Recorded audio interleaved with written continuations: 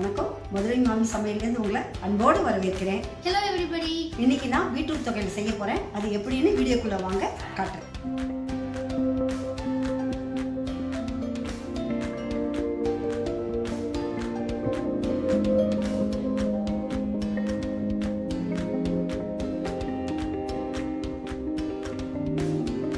இப்போ வானல் போட்டேன். அது சூடாயிடுச்சு.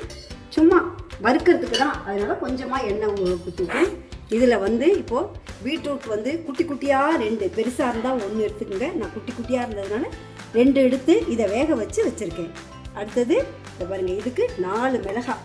இந்த பீட்ரூட்க்கு நான் எங்களுக்கு காரம் கம்மியாக வேணும். அதுக்காக நான் நாலு மிளகாய் போட்டிருக்கேன் உங்களுக்கு காரம் வேணும்னா தித்திப்பு ரொம்ப தெரியாத இருக்கணும். அப்படின்னா காரம் கொஞ்சம் போட்டுக்கலாம். இன்னும் ரெண்டு மிளகாய் போட்டுக்கலாம். எனக்கு இது போதும். அதனால் நாங்கள் இது போட்டுட்ருக்கோம் இப்போ இதுக்கு தேவையான இந்த கடலப்பருப்பு போட போகிறோம் பாருங்கள் கடலப்பருப்பு ஒரு ரெண்டு ஸ்பூன் கடலப்பருப்பு. ஒரு ரெண்டு ஸ்பூன் உளுத்தம்பருப்பு.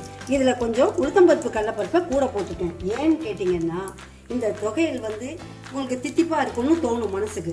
அந்த தித்திப்பை குறைக்கிறதுக்காக தான் இதை நான் இப்போ போடுறேன்.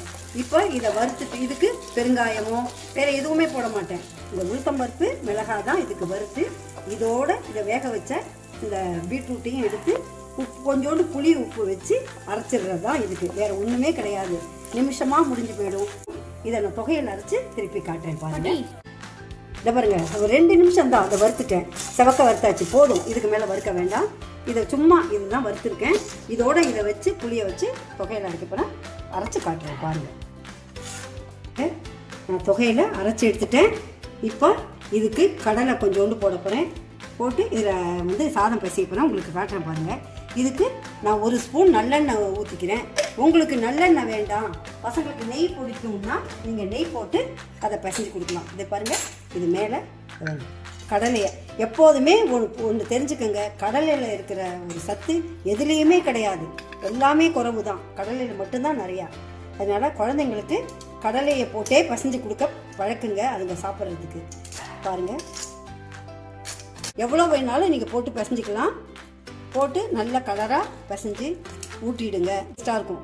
இதுக்கு அதனால தான் தித்திப்பு இதில் வந்து தித்திப்பு இருக்குது புளி போட்டதுனால புளி இருக்குது மிளகாய் போட்டதுனால மிளகாய் இருக்குது கடலையோட டேஸ்ட் இருக்குது நெய் போட்டதுனால எண்ணெய் நான் போட்டிருக்கேன் எண்ணெயோட டேஸ்ட் இருக்குது நீங்கள் நெய் வேணால் நெய் போட்டுக்கோங்க.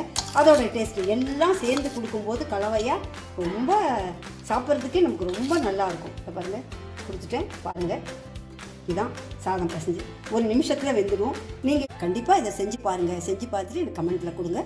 ரொம்ப சந்தோஷம்.